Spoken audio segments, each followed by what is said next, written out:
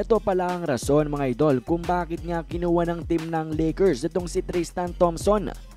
Pero bago nga yan mga idol ay uh, balita muna tayo dito sa mag best friend na itong si KD pati na rin si Russell Westbrook. Dahil tinawanan kasi ni Kevin Durant itong si Russ mga idol in the middle of the game. Nasa free throw line kasi itong ang si KD mga idol at mukhang nang tatrash talk. Nagyayabang itong si Russell Westbrook mga idol. Alam naman natin ang ugali ni Russ mga idol pagdating sa court. Talaga namang fierce yan at uh, walang kaibig-kaibigan dito kay Westbrook. At pati na nga rin itong si KD na alam naman natin na teammate niya for a long time ay hindi nga nakaligtas sa pagtatrash talk niya.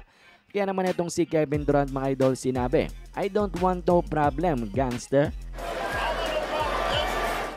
So pinatutunayan pa nga rin ni Russell Westbrook mga idol ang kanyang naging pahayag sa isang interview from years ago. 4 years ago na yata yun mga idol nung nasa Rockets pa siya kung saan sinabi niya na kapag nagbabasketball nga daw siya, nasa court siya ay wala siyang kaibigan.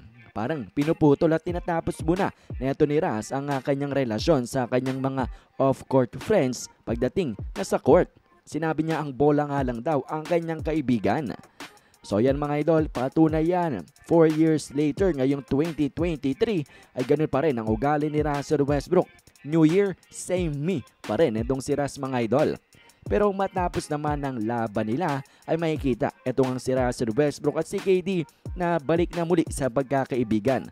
I think this is from game 2 yata mga idol matapos manalo ng Suns ay ito, balik nga sa pagiging tropa itong si Kevin Durant pati na rin si Russell Westbrook. At sinabi na rin neto ni Russell Westbrook mga idol bago pa mag-umpisa ang kanilang series na wala nga daw silang beef. Neto nga ni Kevin Durant, walang away between the two of them. Nire-respeto niya nga daw itong si Kevin Durant mga idol at ang kanyang ginawa sa kanyang NBA career. So yan nga mga idol ang isa lang sa mga patunay na ang mentality ni Russell Westbrook mga idol from years ago ay hindi nga nagbabago hanggang ngayon. At ngayon ngay pag-usapan na natin ang tunay na rason kung bakit nga kinuha ng team ng Los Angeles Lakers itong si Tristan Thompson. But mga idol, yung unang parte na sinabi ni Coach Darwin Ham nung araw na makuha nila itong si Thompson ay sinabi niya na reserve big man nga daw itong si Tristan Thompson. Pero ngayon nga sa isang interview na ni Thompson mga idol ay sinabi niya ng Lakers nga daw ay gusto ng extra big men na magiging mentor nga daw sa kanilang mga younger bigs na sila Mo Bamba at Wayne Gabriel. At ang trabaho niya pa rin daw sa Lakers is to hold their two superstars accountable pagpapatungkol kay Lebron at kay AD pati na nga rin daw pagsiset ng positive tone sa kanilang locker room. So yan pala mga idol ang rason ng team ng Los Angeles Lakers o mga rason ng team ng Lakers ni Rob Pelinka kung bakit nga itong si Tristan Thompson ay kinuha nila late this season.